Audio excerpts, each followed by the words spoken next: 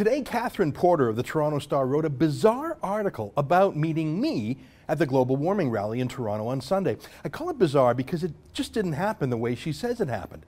It's not that her fibs are particularly devastating. I mean, she didn't accuse me of anything drastic. She just changed a bunch of little facts so that she could write her story with herself as the hero and me as the villain. As in, it's not reporting, it's made up. If you want the long version of the story, and if you want to see the entire 5 minute and 42 second videotape of our complete encounter, you can find it elsewhere on this page or just click right here.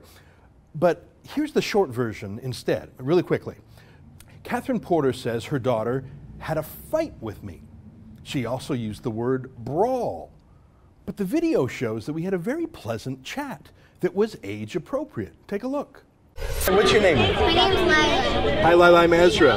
Very nice. Question, do you believe in climate change? Well, it's a, it's a good question. I, I think the obvious answer is yes, because over the course of thousands of years, the Earth gets warmer and colder. Have you ever heard of the ice ages before? And we're not in an ice age now, right?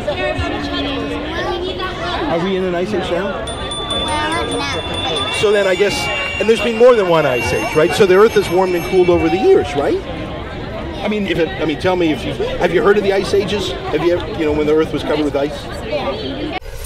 Then Catherine Porter says I was a bully and I was belittling a man dressed as a chicken.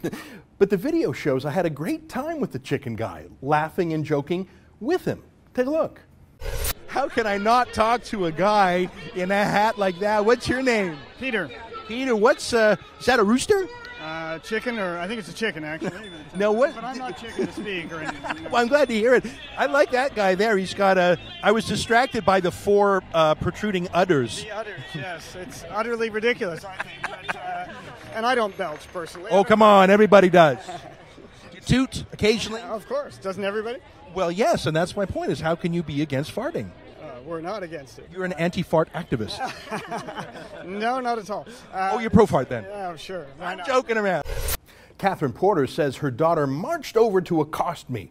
Well, that's not true. And even if it were true, I would never have interviewed a minor child. The videotape shows the end of Porter repeatedly calling me over, calling me over, and asking me to interview her child, and then legally consenting to that interview. Take a look.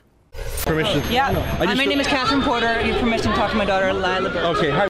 Catherine Porter says it was so traumatic that her daughter told me, quote, You're being mean to my mom. Well, the videotape shows that while she surely wasn't pleased that I was debating her mom, she just didn't say those words. She said, You're talking to my mommy. You know that, right? Here, take a look for yourself at the videotape. Nice to meet you. Talking to my mom is away with your right wing agenda. It's nice talking with you. See you guys later. So, am I furious that Catherine Porter made up a bunch of goofy details in her Toronto Star article? Well, a little bit. I mean, because she claimed I conducted myself inappropriately, but I didn't. But I've had worse things said about me by better people than her. What's really more important to me is just what it says about the media party.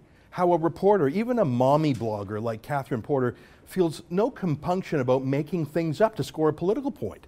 The ends justifies the means. Except for this time, we had a video camera running. For the Rebel Dot Media, I'm Ezra Levant.